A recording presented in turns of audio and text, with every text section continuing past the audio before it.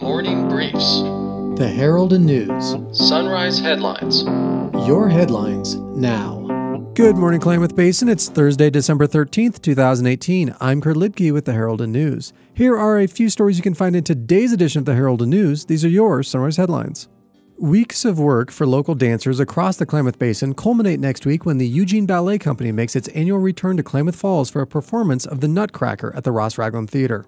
All three Klamath Falls dance schools collaborate for the annual affair, taking dancers from young children to high school seniors for a rare opportunity to share the stage with professional dancers. There will be two performances of The Nutcracker on Tuesday at 2 p.m. and 7:30 p.m. Tickets range from 19 to $29.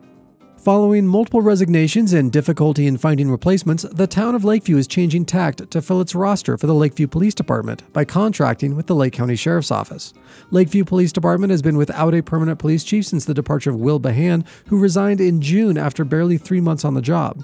Attempts to find a replacement police chief resulted in only one applicant who resigned several days after their scheduled start. Now, the town of Lakeview, rather than search for new candidates for its police department, is attempting to initiate a contract with the Lake County Sheriff's Office for recruiting and employment transfers.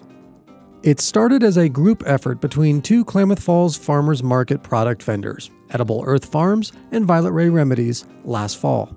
Now, the Edible Earth Farms Collective, along one of these storefronts at the historic Oregon Bank building, has goods from more than 30 different vendors from the farmers market on year long rotation, serving as a veritable year round farmers market.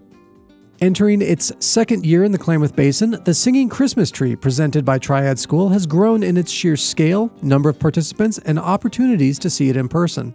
Taking place at BBC Ministries Friday and Saturday at 7 p.m. and on Sunday at 3 p.m., the event gathers more than 150 participants together for a Christmas themed concert featuring choir, orchestra, a living nativity scene, and elements of Charles Dickens' A Christmas Carol.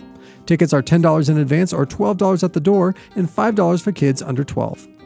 And those are just a few of the stories you can find detailed in today's Herald and News. Follow us across various social media sites and heraldandnews.com. Check back often for latest podcasts, videos, and breaking news. Good morning, Klamath Basin, and enjoy your day.